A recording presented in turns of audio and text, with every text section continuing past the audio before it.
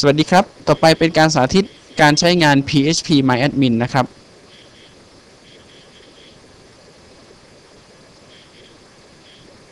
จากบทที่แล้วนะครับ เราได้ติดตั้งสคริปต์ PHP MyAdmin เป็นที่เรียบร้อยแล้วนะครับ แล้วก็สามารถเข้าถึงได้โดย URL ตามที่ปรากฏในช่อง address นะครับ คืออยู่ในโฟลเดอร์ย่อย PHP MyAdmin ถ้าใครรู้ URL นี้ก็สามารถเข้ามาจัดการฐานข้อมูลได้นะครับ ซึ่งไม่ปลอดภัย ดังนั้นนะครับเราจะมีวิธีในการกำหนดให้ผู้ที่จะเข้ามาใช้นะครับ ต้องแสดงตนก่อน ซึ่งทำได้ดังนี้นะครับ ไปที่โฟลเดอร์เก็บสคริปต์ php myadmin นะครับ แก้ไขที่แฟ้ม config .inc.php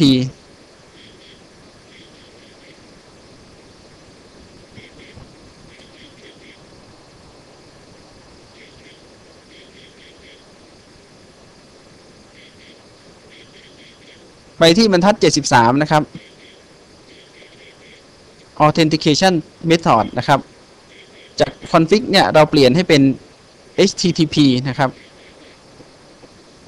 ส่วน SQL user นะครับ เราลบทิ้งเลยครับ แล้วก็ MySQL password เราก็ลบทิ้งนะครับบรรทัดที่ 74 75 เสร็จแล้วก็เซฟนะครับ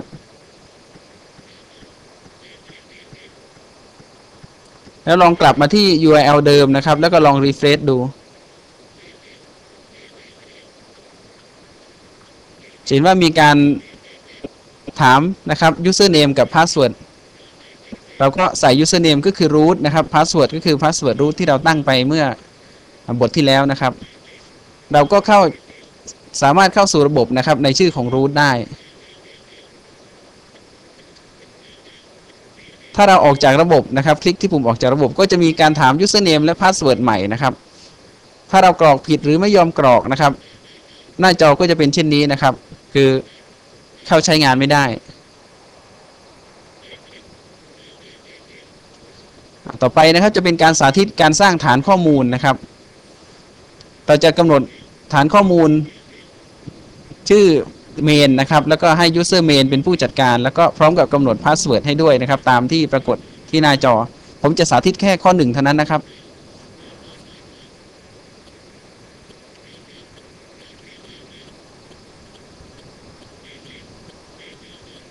เราก็เข้าไปที่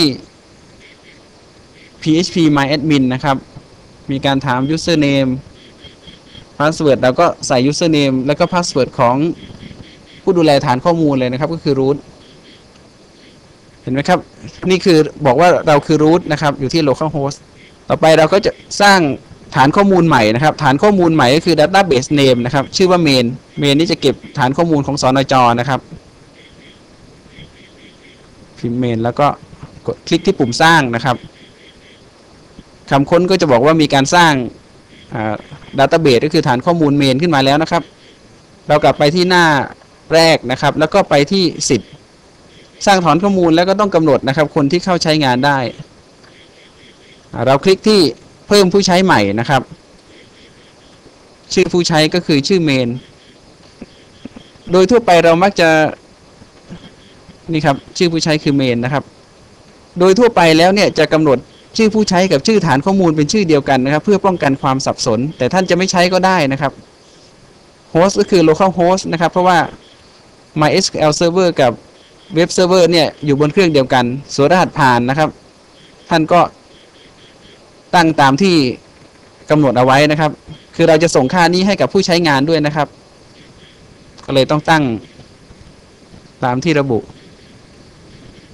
พิมพ์รหัสผ่านสองครั้งนะครับ แล้วก็ รงสิทธิแบบ global ยังไม่ต้องทำอะไรนะครับ มากดปุ่มลงมือข้างล่างคำค้นนะครับก็จะมีการระบุว่าเพิ่มผู้ใช้ใหม่นะครับ ชื่อผู้ใช้ main at localhost นะครับ มาส่วนสิทธิ์เจาะจงเฉพาะฐานข้อมูลนะครับ ระบุว่าผู้ใช้คนนี้ใช้งานเฉพาะฐานข้อมูล main เท่านั้นนะครับ คลิกเลือกเลยครับนะครับฐานข้อมูลผู้ใช้คนนี้บนฐานข้อมูล main นะครับ ตรงแก้ไขสิทธิ์เนี่ยเราจะใส่ เราจะให้สิทธิ์เฉพาะส่วนข้อมูลกับส่วนโครงสร้างนะครับ ทุกอย่างส่วนการดูแลระบบเราไม่ต้องยุ่งนะครับ คลิกทำเครื่องหมายแล้วก็คลิกลงมือเลยครับ อันนี้คือเราได้ปรับปรุงสิทธิ์เรียบร้อยแล้วนะครับ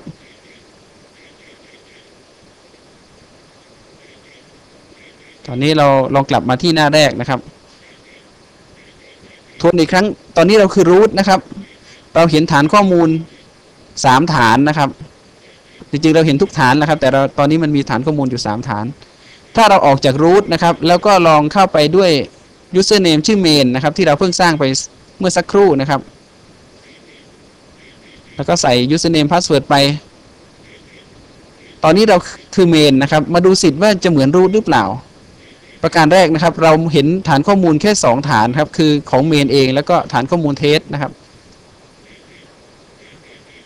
อาจจะเห็นว่า เห็นได้ไม่เท่ากัน แล้วก็จัดการได้เฉพาะฐานข้อมูลของตัวเองเท่านั้นนะครับ